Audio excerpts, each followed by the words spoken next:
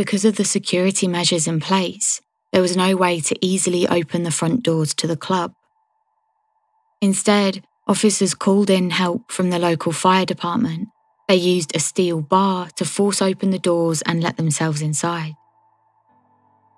The view they were met with was one full of red spatter down the hallway, droplets of blood pooling and partially drying, and further into the main rooms of the club, piles of bodies.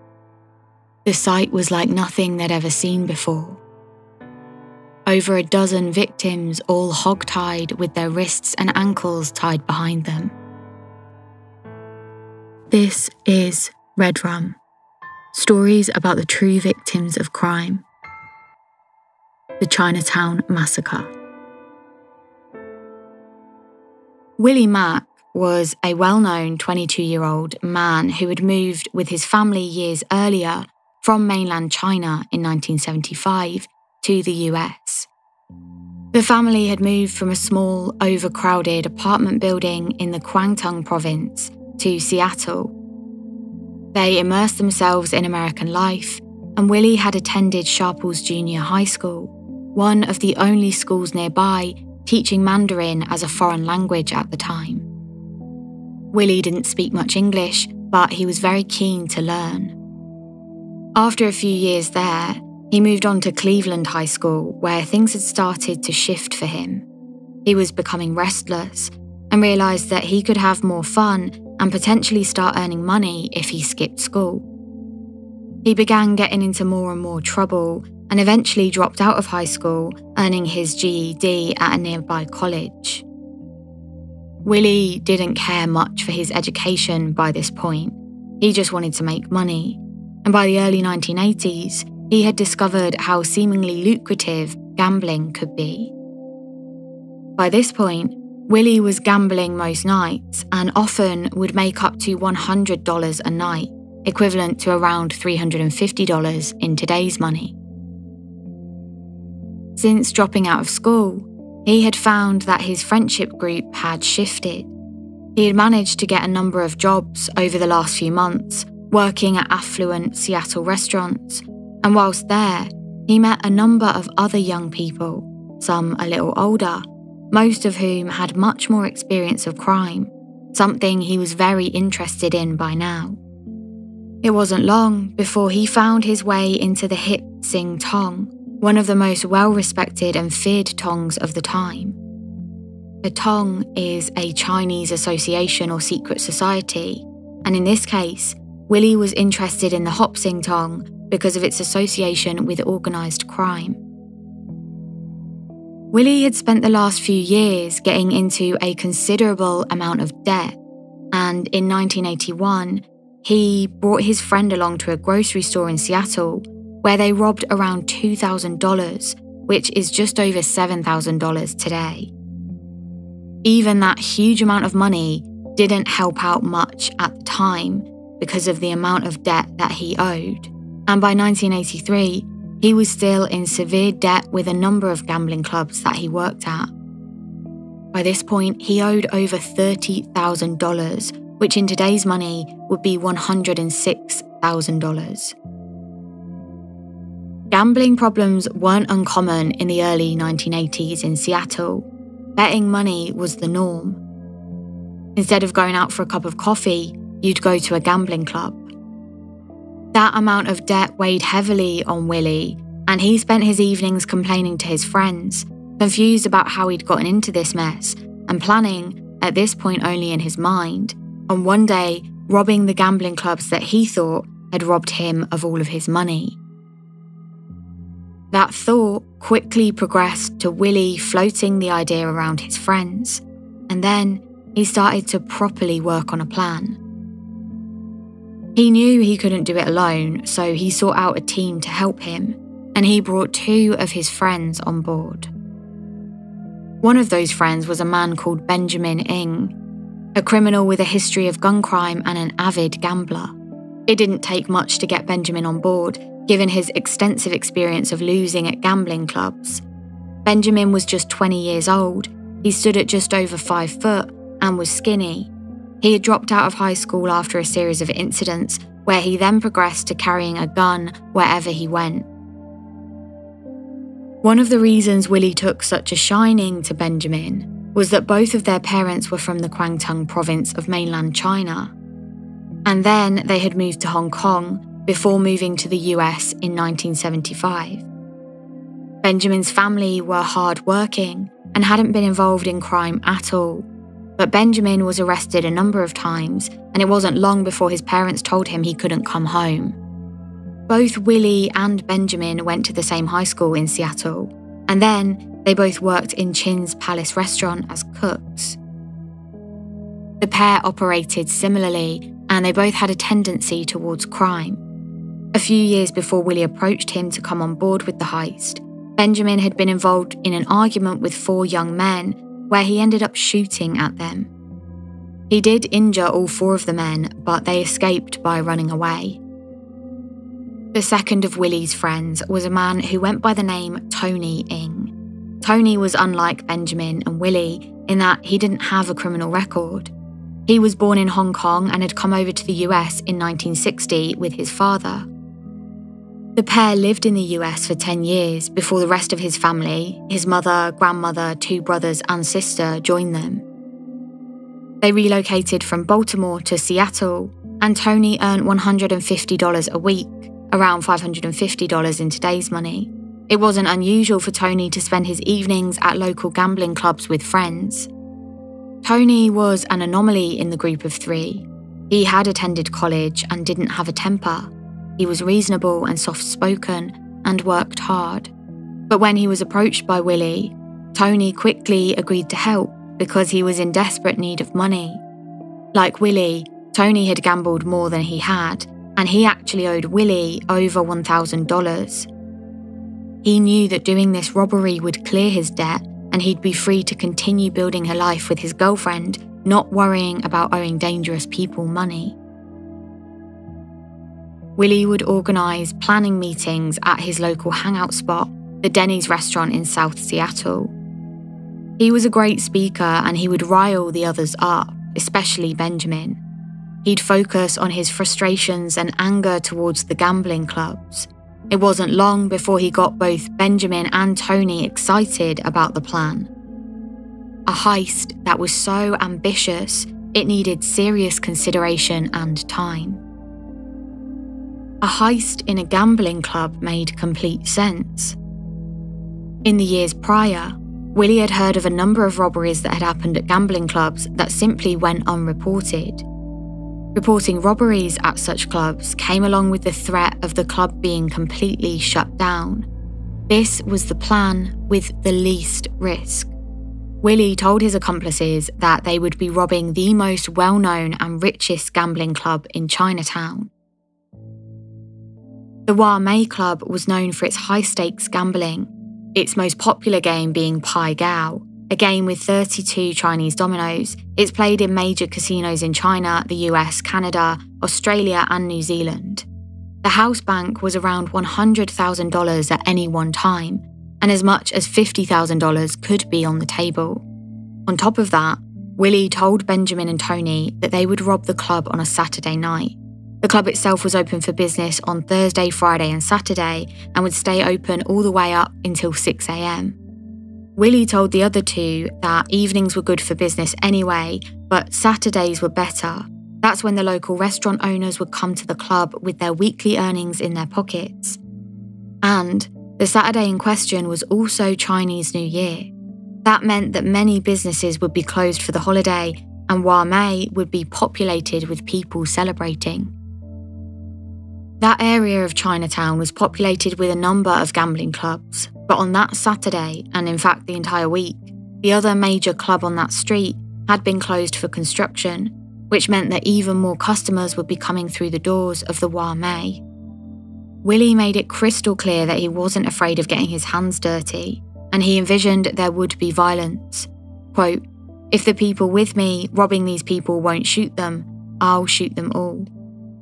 He had also chosen the Wah Mee Club because it was an exclusive club, catering to members only and bringing in some of the Chinese community's most wealthy and well known members. The Wah-Mee Club was one of the oldest and most well known clubs in Seattle's Chinatown. Willie knew of the club because at one point in his life, he had worked there. He'd seen people who attended and he knew how it operated. It made complete sense to him that he'd use a place he was familiar with. He knew he could make a lot of money in one night. The February morning air was cool that Saturday in 1983. Willie Mak headed to a diner in South Seattle to meet with Benjamin Ng. The two chatted about their plans for the evening. They were excited. Soon they'd be rich beyond their wildest dreams. They left the diner after breakfast and headed their separate ways, readying themselves for the evening plans. Benjamin headed home. He was living with his girlfriend Kenneth Izumi at the time, and the pair had taken a bedroom in Kenneth's parents' home. This meant he had to be careful about meeting with Willie and any other known criminals nearby. For that reason, he'd usually head out into the diners of South Seattle so he could keep some of his criminal life away from his girlfriend's family. The only one of the three not at the diner that morning was Tony. Although he hadn't been at breakfast, he was still very much a part of the plan. He no longer had a choice.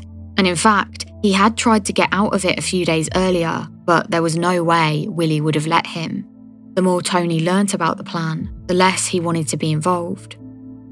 After learning that they were going to rob the Wah-Mee, Tony's thoughts shot to his own father, who often spent an evening gambling there. He also worried that the club may be crawling with police. There was a history at the Wah-Mee of police spending time there and receiving money and bribes to allow it to continue to operate. All in all, it was too much of a risk for Tony to be involved. He wanted to drop out, so one afternoon, he plucked up the courage to approach Willie and tell him. He borrowed £1,000 from his girlfriend and headed over to pay Willie what he owed. He also secretly decided that he was going to head straight to the police and tell them what Willie had planned for the night of the heist. But Willie wasn't buying it. He knew something was up and he had already told Tony the whole plan. Willie couldn't do it without him, and he knew the ins and outs.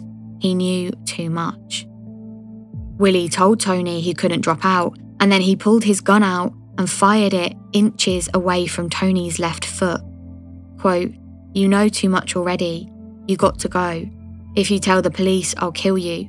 If you back out now, I'll shoot you, your family, your girlfriend, and burn down your parents' restaurant.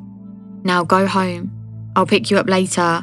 If you're not home, I'm going to kill you. That evening, Willie and Tony drove a car they'd borrowed and dropped it off in a parking lot nearby to the club. They planned to use it as the getaway vehicle.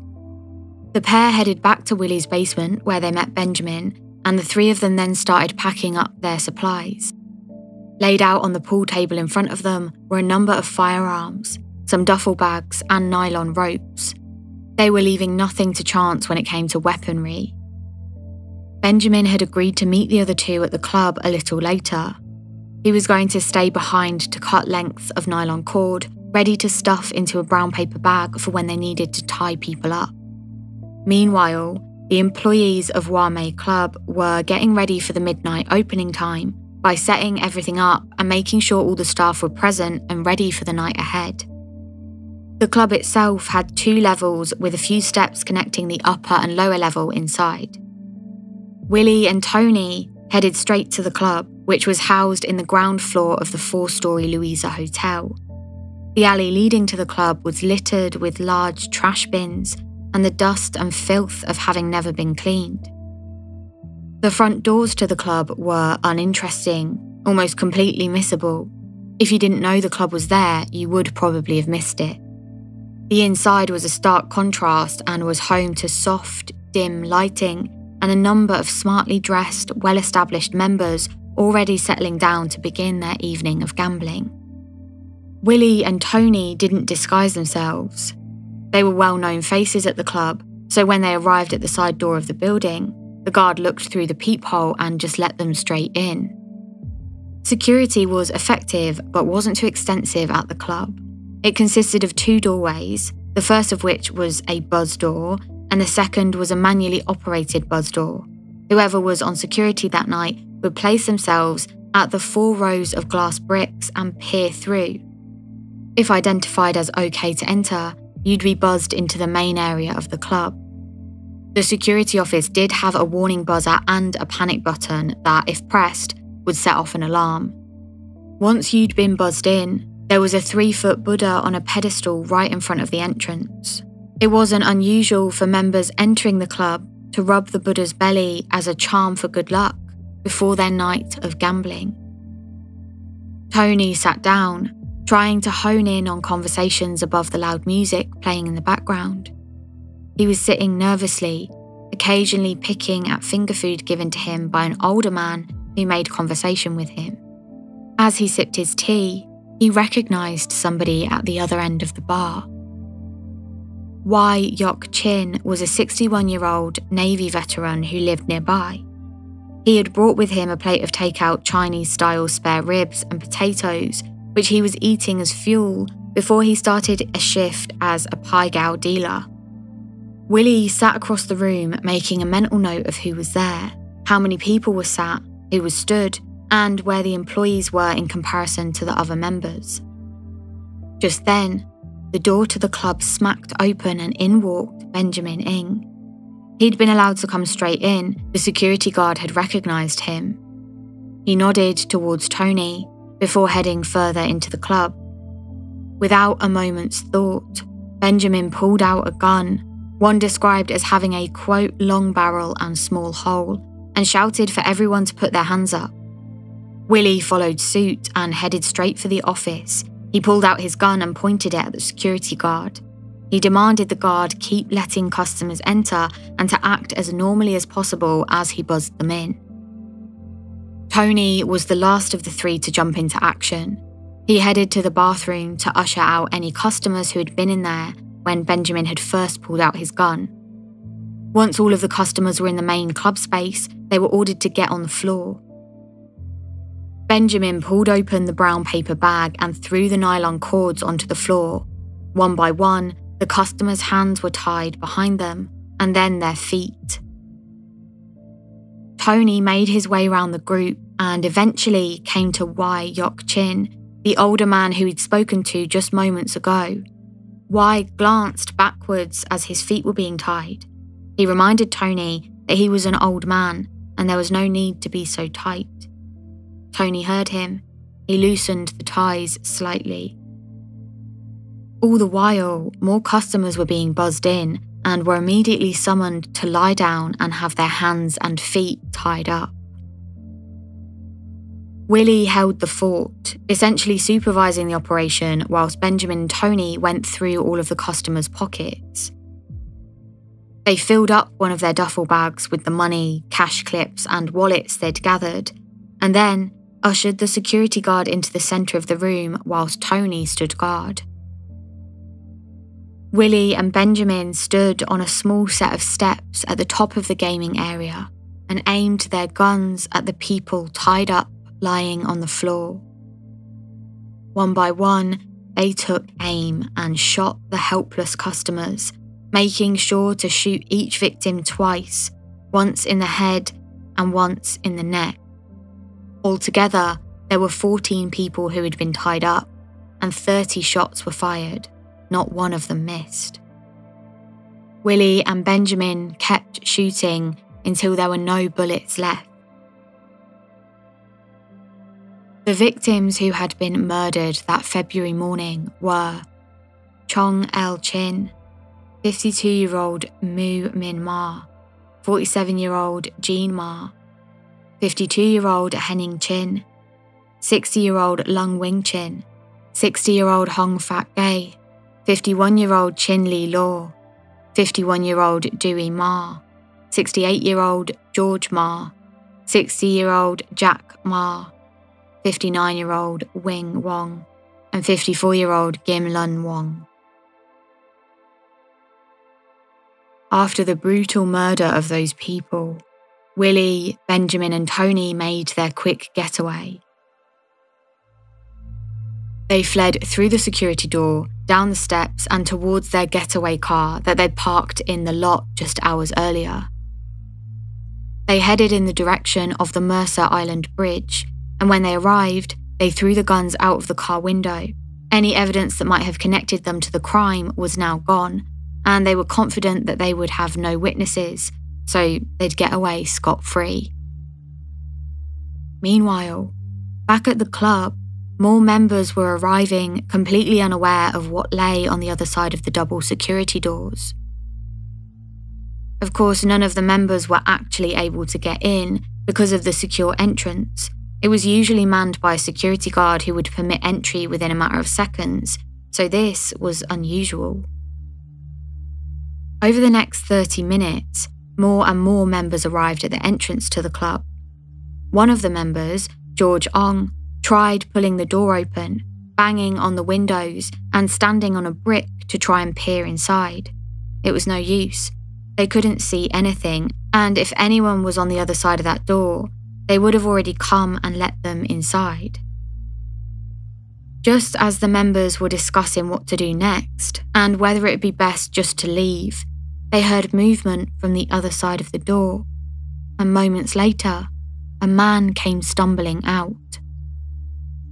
He had severe injuries, bullet wounds in his throat and jaw. It was Wai Yok Chin, the man who had earlier asked Tony to loosen his restraints. Wai had been shot along with the other 13 victims, but he had slightly preempted the shooting, allowing himself to move minutely towards and underneath one of the gaming tables. This meant that when he was ultimately shot, the bullets did hit him, but in an incredibly lucky turn of events, he was only wounded and not killed. Then, when he'd heard the loud banging coming from the members outside, trying to figure out what was going on, he'd managed to loosen his restraints fully and crawl away from the dead bodies. He was still seeping blood, but he managed to pull himself up towards the security door. He pushed it open and fell forwards to where the other members were outside. At this point, Wai didn't know if he was going to make it. George tried to get out of him what had happened, and Wai knew that the people responsible needed to be caught and brought to justice, even if that was the last thing he said. And with that, he managed to splutter out the names of Willie Mak and Benjamin Ng. He did say there was a third man there, but he didn't know his name and he didn't recognise him. Just a few streets away, a police officer was doing a patrol of that area of Chinatown. His car police radio crackled that the news of a 911 call had come in to report a bloody man down in Maynard Alley South. The officer was just meters away and rushed towards the scene. Once there, he ran into two more officers who had just arrived moments earlier. They helped Wai Yok Chin into the front of the police car and asked him question after question, desperately trying to gain more information about what had happened. An ambulance arrived soon after and took Wai away to Harborview Medical Centre, where it was quickly determined Wai's injuries were severe and he was in a critical condition. Because he had managed to give the name of Willie Mak and Benjamin Ng, and the two of them were known and feared local Tong members, Wai was placed under round the clock police protection. By the time Wai had been taken to hospital, more police officers had arrived and readied themselves to enter what they could only assume to be a horrific scene. What they discovered on entering, however, was far worse than they had ever imagined. Because of the security measures in place, there was no easy way to open the front doors of the club. Instead, officers called in help from the local fire department. They used a steel bar to force open the doors and let themselves inside. The view they were met with was one full of red spatter down the hallway, droplets of blood pooling and partially drying, and further into the main rooms of the club were piles of bodies. The sight was like nothing they'd ever seen before. Over a dozen victims, all hog-tied with their wrists and ankles tied behind them. The amount of blood that was visible was unlike anything any of the officers had seen before. So much so, the officers who made their way into the main room placed plastic bags over their shoes. They were afraid that without some form of protection, they may slip and fall. At this point, the officers investigating the scene didn't know who was involved and if the suspects may still be inside, so they took their time to clear the main room and the smaller rooms attached. And then they heard a short, sharp wheezing, almost too quietly to properly identify where it was coming from. One of the officers told the room, now flurrying with other officers and paramedics, to be quiet so they could identify the source of the noise. The wheezing continued, and the officer followed the sound before finding a man tied by the hands and feet, laying face down, shot and bleeding, but alive. The officer called for help, and the man, identified as John Liu, was rushed out of the club and into the ambulance, waiting outside. He was also rushed to Harborview Medical Centre and taken straight into surgery, but unfortunately, John's injuries were so severe that he died on the operating table. Outside the club, the alley was cordoned off with a number of officers standing guard. They knew the nature of this kind of attack meant that it was likely connected in some way to one of the tongs situated in the local area. News of the massacre travelled fast, and within an hour of Wai's escape, a crowd of over 60 had gathered around, waiting to find out what exactly had happened and who was involved. The investigation that followed happened quickly. After the initial identification that Wai had made, a number of officers made their way to the only known home associated with Willie Mak. They arrived at the front door and knocked. It wasn't long before they heard the rustling of keys, the familiar sound of unlocking, and then the door swung open. On the other side of the door was a man a similar age and build to Willie, but it wasn't him. He identified himself as Willie's brother.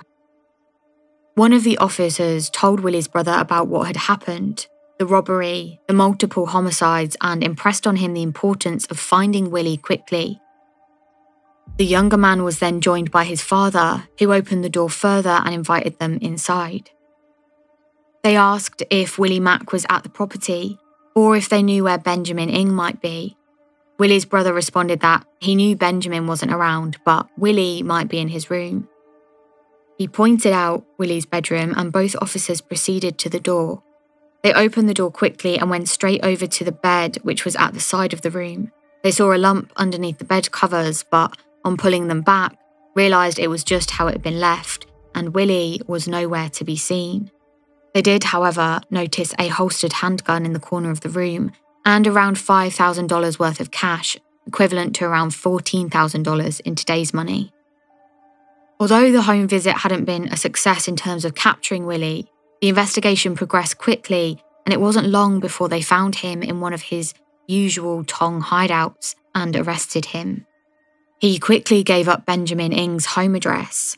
The officer went to that address which belonged to Benjamin's brother, Stephen. He informed officers that Benjamin was living at his girlfriend's parents' house. He gave them the address and they went straight there.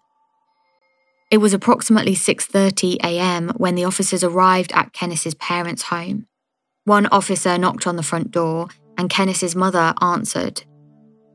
The officer identified himself and explained that Benjamin was a suspect in multiple homicides that had happened just hours earlier. Kenneth's mother let them inside and escorted them to her daughter's bedroom, where she knew Benjamin would be sleeping. The two officers made their way into the bedroom, where they noticed two guns lying next to two stacks of money. They also found Benjamin, fast asleep, totally unaware of the officer's presence. They woke him up and immediately arrested him. They also asked if they could search the bedroom, but Benjamin refused, saying they'd need a warrant if they wanted to do that. They proceeded to take Benjamin out of the house and into the police station. Whilst he was being escorted out, one officer stood guard at the bedroom so that they could wait for another officer to arrive with a warrant. They were well aware of Benjamin's Tong connections and were wary of anyone else entering the bedroom and potentially disrupting or moving evidence. It took a few hours for all the necessary documentation to be produced. But at around 2 pm, the police returned with the warrant and went on to search the bedroom Benjamin had been living out of. Altogether, they managed to seize around $7,500 in cash, which would be over $24,000 in today's money. They also seized two loaded 38 caliber revolvers, an M1 rifle, and a huge amount of ammunition. Once in custody, both Willie and Benjamin denied they had anything to do with the murders.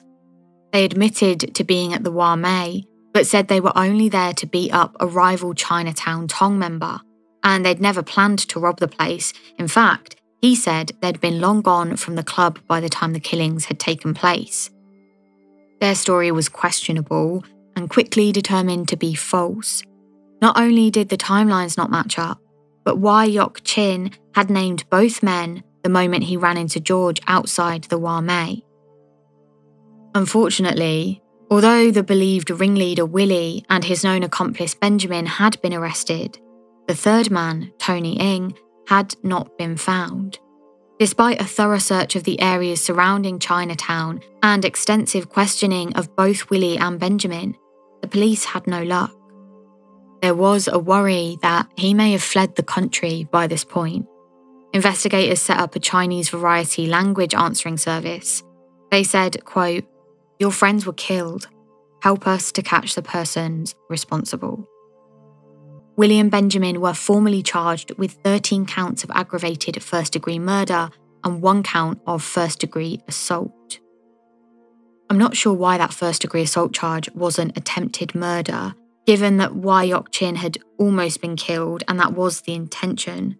Um, I do know that the difference between attempted murder and aggravated assault is usually to do with intent. But we do know that Willie and Benjamin tried to make Wai succumb to the same end as those other 13 victims. So I can't quite understand that decision. But either way, they were the charges. And the prosecutor made clear his intent to seek the death penalty against both men. Tony Ng, meanwhile, had been working in a factory and living under an assumed name, Jim Wong. He'd left Seattle soon after the murders and had been living in an apartment in Chinatown in Calgary, Alberta, in Canada ever since. It was a little under two years after the massacre that Tony was discovered and arrested after an anonymous tip named Tony as living in Calgary. The RCMP and the FBI had worked together to ensure his capture and subsequent extradition back to Seattle. Tony admitted to being at the Wah Mee Club on the night of the massacre, but said that he was told to wait in the section of the club between the two security doors. He added that he had heard the shots but hadn't seen anything. He also said that for his part in the robbery, Willie and Benjamin had given him $6,000 and his $1,000 debt with Willie had been struck off. He also told the court that he had tried to back out of the robbery before that evening, but that Willie wouldn't let him and threatened to kill his family if he backed out. At the time, Benjamin Ng was sentenced to life in prison without the possibility of parole, and Willie Mak was sentenced to the death penalty. Even though both Willie and Benjamin were convicted of the same crimes, the reason that Willie was given the more severe sentence was because of two reasons as given by the court. The first was that Willie was characterised as the orchestrator of that crime, and the second, that the personal difference between the two men justified the different outcomes. However, eight years after that initial conviction, Willie's death sentence was overturned by the state Supreme Court because of his lawyer's failure to submit evidence that may have proved a different outcome. Willie was resentenced, and this time to life in prison without the possibility of parole. Meanwhile, in 1985, after Tony's extradition back to Seattle, he was found guilty of robbery and assault, but not murder. For this, he was sentenced to 30 years to life in prison. Wai Yok Chin bravely testified at all three trials. Tony Ng was denied parole five times during his prison time, but after 30 years in 2014, he was released and deported to Hong Kong. The decision was made by the state's Indeterminate Sentence Review Board, Quote, it was a tough decision, especially because of the nature of the crime, but I think the board ultimately has to look at what our statutory responsibility is. If we only looked at the crime itself, we wouldn't release anybody. The board found that Tony was fully rehabilitated and fit for release, although many family members of the victims were horrified by this decision. Hazel Chin, a daughter of one of the victims, said, quote, Everyone is given the opportunity to make choices, and Tony Ng made the wrong choice. I will never be at peace knowing Tony Ng is back on the streets. The man who had died on the operating table, John, had a son, Jason, who was a sophomore at the time of the shooting. He said that he went from a carefree young man, a teenager, straight to being the man of the house. All he could do was attempt to survive. He wasn't living life like someone his age should have been. The responsibility and the pain was unbearable. Chong Chin, one of the victims of the massacre, had come to America when he was just 16 years old. He was an extremely hard worker, starting his career as a dishwasher and quickly progressing to becoming a cook. He was a keen learner and had dreamt of becoming a restaurant owner himself. Chong's gambling habits were his way of blowing off steam, and for him it was just a hobby, but it did give him the chance to achieve, quote, material things his piece of the American pie, his chance to relax after a day at the hot stove. Chong's son Larry spoke of the missed opportunity for his father to meet his three grandchildren. Quote, I often fantasize on holidays, special events, what it would be like if he was with us. Larry had been so haunted by the thought of the massacre and what his father went through that night that he's only visited Seattle, the place he grew up, three times since Chong's death. The Wah-Mee Club didn't ever reopen its doors. In fact, it lay locked up and abandoned, the once deep green outer shell covered in a thick layer of muck and dust. It stayed that way for many years, up until Christmas Eve 2013, when it was engulfed by a fire. The building's roof and floors below caved inwards and it was quickly deemed unsafe. No one was harmed, but the owner then decided to demolish the building and make way for a new investment, what turned out to be 84 affordable apartments up for rent. After the trials, Wai Yok Chin and his girlfriend Rose had been living in hiding in an apartment above Pike Place Market. Due to the fact that William Mak had been known Tong members, and the fact that the initial couple of years after the massacre, Tony Ng was on the run. Wai and Rose were living under heavy police protection. The couple would spend their days inside, often inviting the officers tasked with protecting them inside to play cards. They grew friendly with the officers, and the team would take both Wai and Rose out for day trips, often visiting Camano Island State Park, a local zoo, Longacres racetrack, and many more. Although the day to day and trips out tended to be a relaxing break on the surface, it wasn't without intense awareness from the officers on duty. They would make sure to always travel in unmarked cars and usually headed out of Seattle City, so there was very little chance of being recognised. Wai Yok Chin passed away in 1994, 10 years after the attacks, at the age of 72.